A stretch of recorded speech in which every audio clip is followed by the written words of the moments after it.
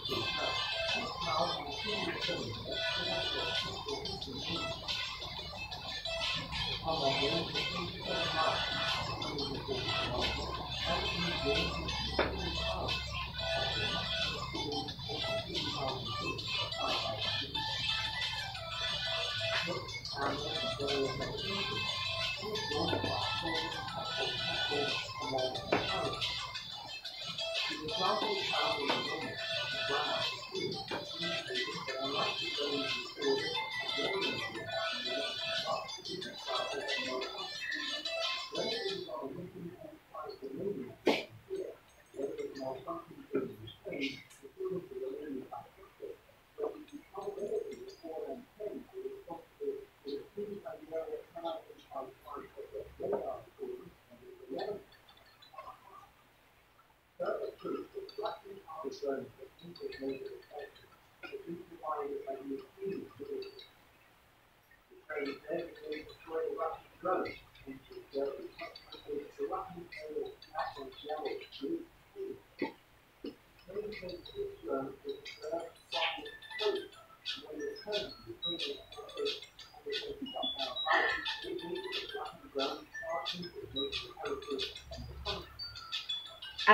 ko sa bagyong Agaton.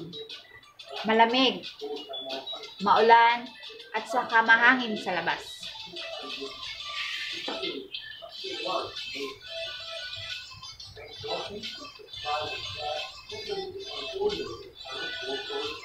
So, makapal